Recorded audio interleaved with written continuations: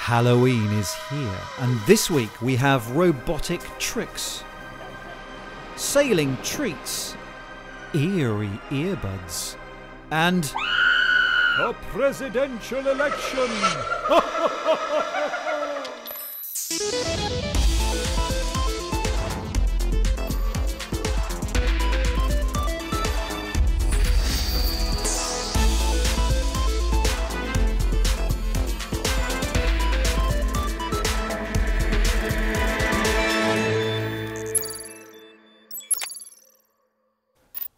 Welcome to Click. I hope you're okay. Listen, Halloween might not be happening outdoors this year, but I tell you what, it's certainly happening indoors, here at least. Let's cross to Lara's haunted house and see what horrors await. Wow, you have got a lot of Halloween there. Uh, yeah, turns turns out I do. Do you think I've overdone it slightly? Oh, no, I love it. Um, you've gone stylishly minimalist as always, I see. Yeah, all I could find was this skeleton in my closet. I didn't really have anything else to decorate the house with. Do you know, I've never been trick or treating. Have you not? Well, look, many of us won't be trick or treating this year, but there are some people who've tried to make it as safe as possible for the kids who do pass by. Trick or treat! This is Luke Keys from Austin, Texas, and he's out to save Halloween. He's been finding ways to dispense sweets from a distance. He's experimented with dropping them from a drone and even firing them from an air cannon. But I think his star creation is this, Artie the robot. After eight years of tinkering, its latest skill is distributing socially distanced sweets. It runs on Arduino microcomputers, weighs in at about 140 kilograms, and has been shrunk down to avoid scaring the kids. Say bye, guys. Just readjusting the lighting to something more sensible because straight after Halloween there is another American horror story.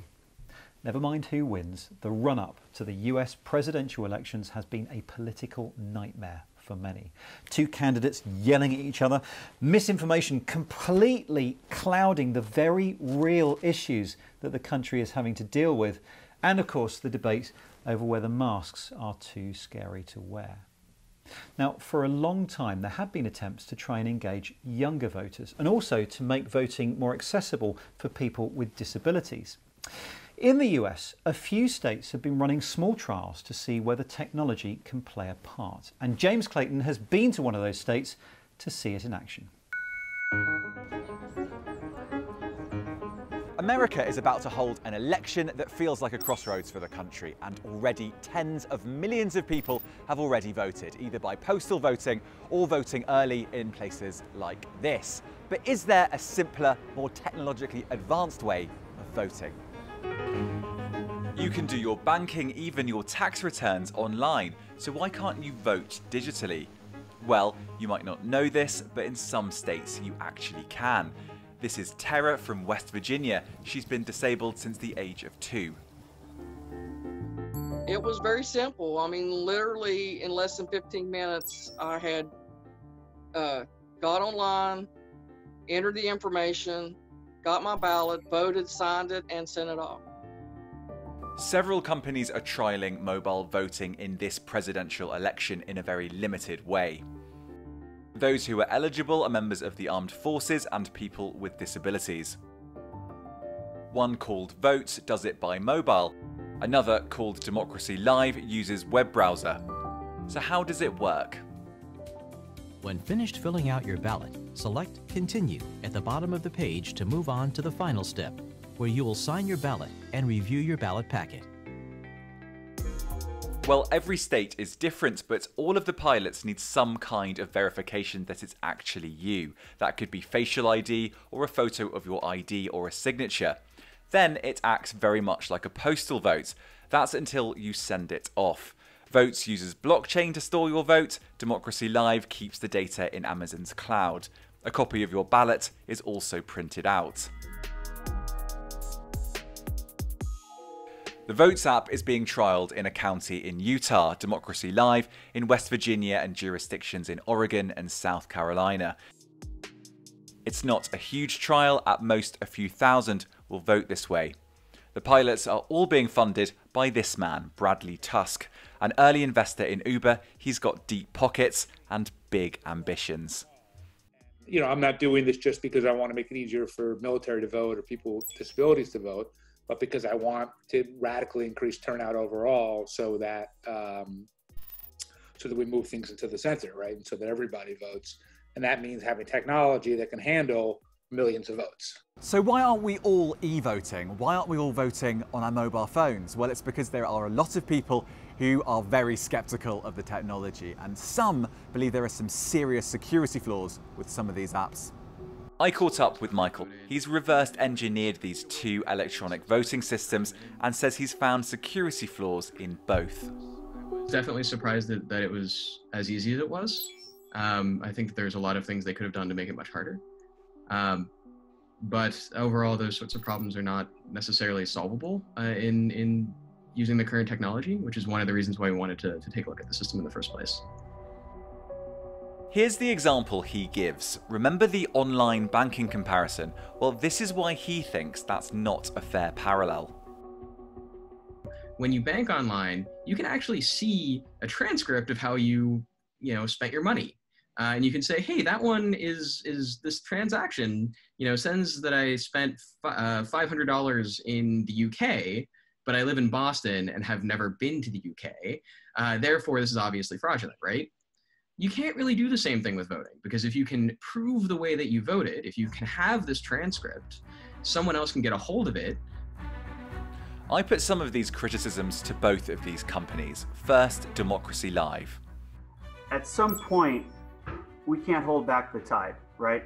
Um, next generation voters are going to demand next generation voting technologies. We're going to learn lessons, right? That's where we're starting small and responsibly with voters that would be otherwise disenfranchised. We don't have all the answers right now. The academic community and the security community don't have all the answers. That's why you do smaller, responsible testing, learn the lessons, and then build from there. And that's what we're trying to do right now. And we're starting with groups that are today would be otherwise disenfranchised. I put those same questions to the founder of Voatz. Obviously, it's new, so there will be criticism. So we welcome um, welcome the scrutiny, but at the same time, a lot of that is hypothetical. Um, just by looking at one piece of the system without actually transacting with the system in any meaningful way, often would lead you to incorrect or incomplete assumptions. So, what did Tara think of her experience of voting online? I like it for people with disabilities because it gives us options, and we need options because we we just can't. Some of us just can't get out. Uh, some of us um, uh, require special tools in order to write or speak, and um, I think that it's it's a good option for people like that. But I'm not necessarily an advocate of uh, electronic voting without a lot more security around it. Both types of voting have been used before in local elections, and both companies say they've never been successfully hacked. So is e-voting the future? Are voting stations like this one the past? Well, not so fast there because even the advocates of e-voting say the technology isn't quite there yet, which does rather beg the question why it's being trialled in a US election.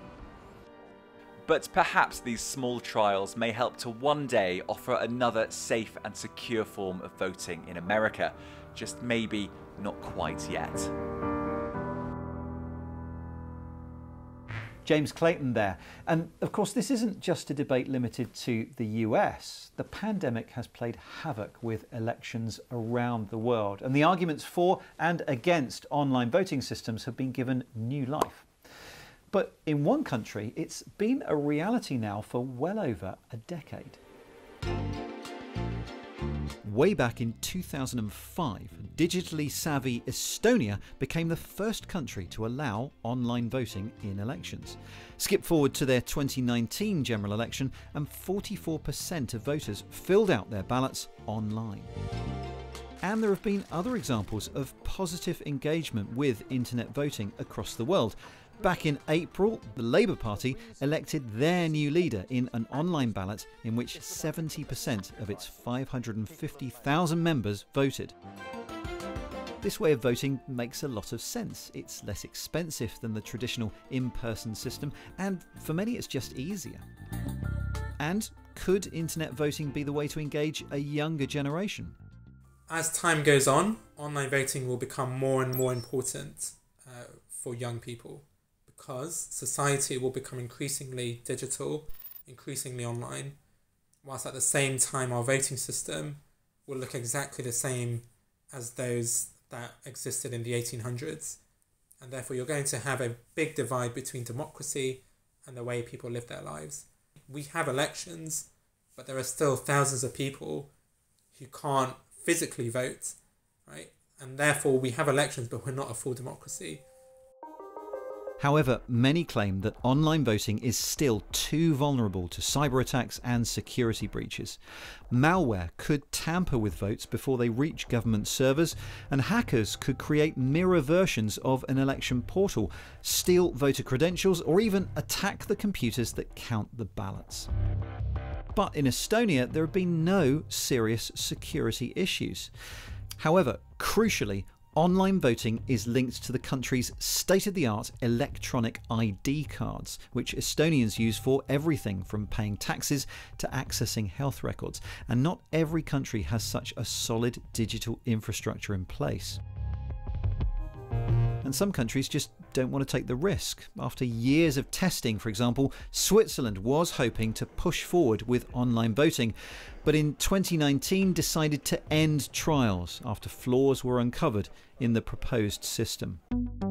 Regardless of whether you're for or against internet voting, all would agree that the stakes could not be higher than in major elections where there can be zero doubt cast on the outcome. So we may have to settle for waiting in line at the ballot box for a little while yet.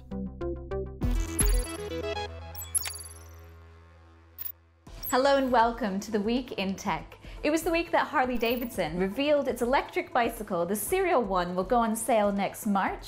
The CEOs of Google, Facebook, and Twitter faced hours of questions from US senators on censorship and misinformation on their platforms. And Alibaba founder Jack Ma's new online payments group, Ant, detailed its plans for a stock market debut next month. It's set to be the world's largest ever.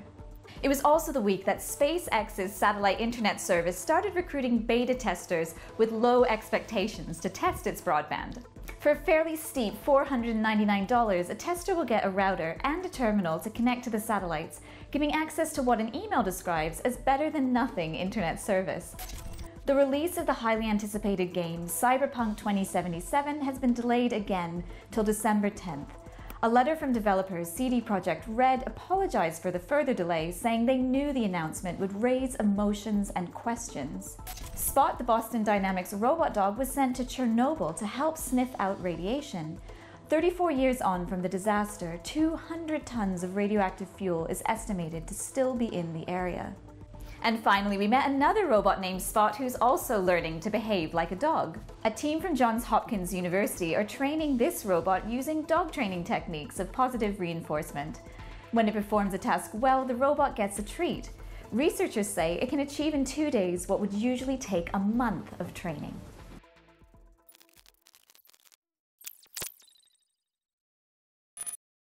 The headphone market is seriously overcrowded, so companies are having to get a little bit more creative these days. Take a look at this, for example. It looks like one speaker. And it is in this form, you call this party mode. But you can also separate them into two and place them up to 22 feet apart to create stereo sound. Plus, take a look inside and you've got a pair of true wireless earbuds. Each part of the Duolink Go speaker buds has six hours battery life, and the buds can be recharged when they're sitting in the speaker. I've had a bit of a problem with getting earbuds to fit and stay in my ears. Now, as I've often said before, this may be because I have strange ears, but these ones actually fit very well. So they're great for strange ears. This isn't the most amazing audio I've ever heard, but for something so versatile at this price point, I don't think I'd complain. And now something for a quieter life. Cocoon Relax are claimed to be the world's first sleep aiding headphones. So they hope to help you get a better night's sleep, but they could also give you a little bit of relaxation during the day. Hmm, I can't really do it here, can I? Yep, I got a rest on the job again. They use cognitive behaviour therapy methods to provide relaxation, as well as being full of biometric sensors. The device's EEG sensor aims to track brainwaves, along with monitoring motion and heart rate, combining them with info on the user's environment.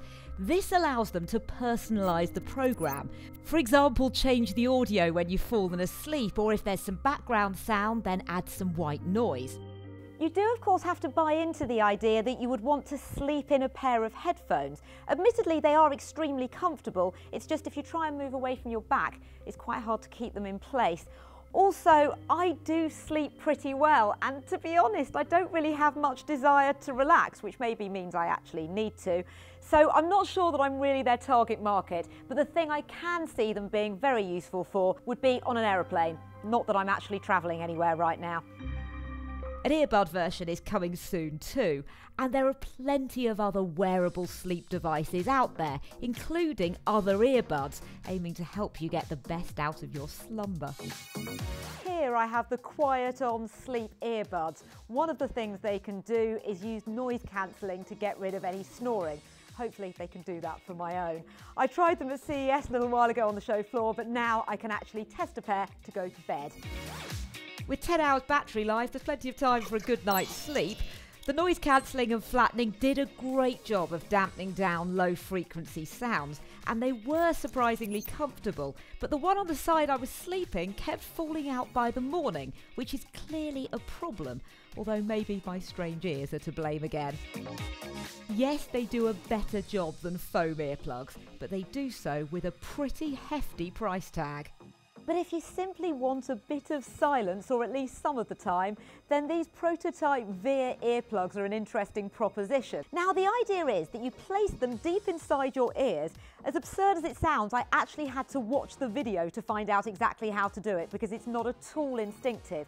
But once you place them inside, further than I thought anything could actually fit in my ear, by just using this dial at the side, you can reduce the volume around you by between 5 and 38 decibels. To put that into context, the company claims that's losing around 80% of household sound at its highest. And if you keep it on its lowest, well, it barely makes any difference. And the reason that would be useful is that the company's premise is that you would wear them all day. You simply adjust them as to whether you want to turn up or down the volume of actual life. These are just the prototype, and I wasn't really sold on the idea that I would want to keep them in all day. But if you do, with no battery and having been sitting in the depths of your ear canal, then you may be pleased to know they can be washed in soapy water. Wow, they look like they go right in. Did they touch your brain? Yes, I think so. It felt like it. Okay, now you may remember a few weeks ago we took a look at the America's Cup, a sailing race at the cutting edge of design tech. This week we're going back to sea, this time for the start of a round the world race with a twist. All of the sailors have to do it completely alone. Travelling 27,000 miles, it takes competitors 80 days of constant sailing. They can only pause for 30 minute bursts of sleep. So naturally, this can impact their mental health. And one competitor is taking on some tech that she hopes could come to the rescue. Zoe Kleinman's been to the south coast of England to find out more.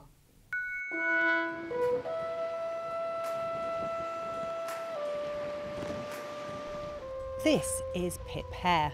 She's taking part in this year's Vendée Globe race. I don't think there is another sporting event on the planet that asks so much of a human being. Pip's trying to beat the world record set 15 years ago by Dame Ellen MacArthur. The challenge is physically tough, both on the sailor and on the boat. But something that can be overlooked is the mental health strain of being completely alone at sea for weeks on end. It's why Pip's team is determined to keep a close eye on her well-being. Pip's boat is kitted out with every gadget you'd expect on a 21st century craft autopilot, GPS, LED flares. But what sets it apart is that mental health tech is also part of the package. I'm really interested in in how you're going to cope with being completely on your own for such a long period of time. So it is a long time at sea, but I'm really not alone. I'm well connected. I have two satellite systems. I can uh, upload video, I can WhatsApp chats. And this connection to shore is where this 20 year old yacht truly becomes cutting edge. Pip's team plans to use artificial intelligence to understand how she's really feeling from the videos she shares during her voyage. It's looking at the text that's been transcribed from anything anybody says, and it's giving us a sentiment about positive, neutral, or negative about what's being said. And then it's also looking at your facial expressions as you're talking to identify emotions, anything from joy to effortful thought to emphasis, as well as things like contempt and disgust. So, when Pip uploads a video, say something like this, It's my last day in pool today. it ends up in a system that looks a little like this, which picks up all of the different emotions that she's experiencing. And I walked out the door. This then allows her team to work out how they might be able to help her. It's really do we sense that Pip isn't as joyful as she has been over the past week, and do we want to have another phone call that really tries to lift her spirits? But to give it a fair trial, I thought I'd have a go too. And I don't think I'll be needing a pep talk anytime soon. I seem pretty chipper.